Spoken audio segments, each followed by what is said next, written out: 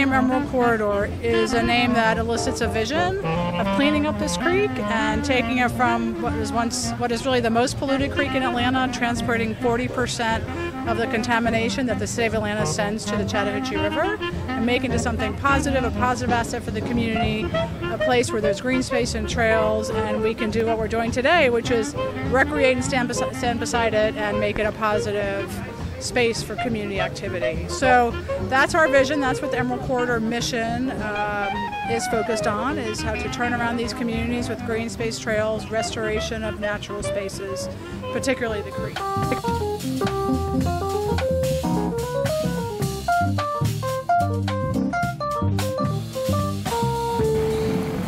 We're here to build community pride and empower the residents of Grove Park and the neighborhoods alike. Create safe spaces to learn and expand and enjoy our community. the awareness that Proctor Creek is here, the, the awareness that we need to do whatever we can to save Proctor Creek, the, the awareness of the community knowing that Proctor Creek is important on a federal level. On a federal level.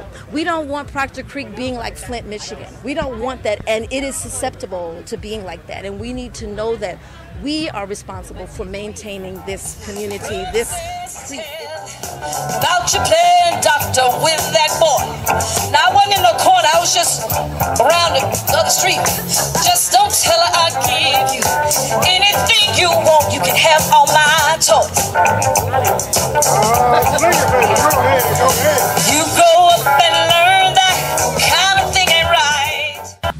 then I'm also an urban environmentalist, so the Proctor Creek means a lot to me. And we've been looking to see how can we introduce the community to Proctor Creek, and we came up with a concept called Creekside.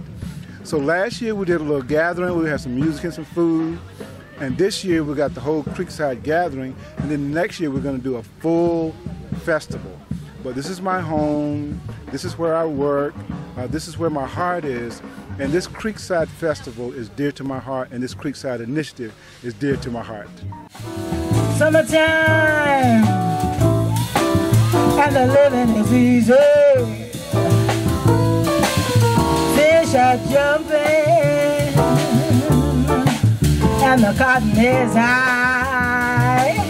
really comes together out of a commitment to really rebuild the Grove Park community and have the community uh, be recognized and acknowledged for its culture, for its history, for its legacy, and for the future that includes them.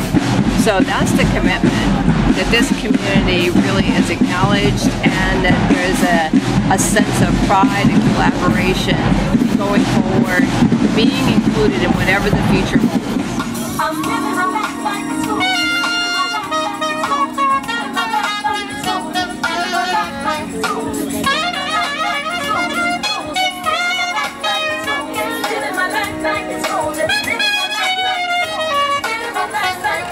look, the future is is our young ones, is our you know is all about the opportunity for our children.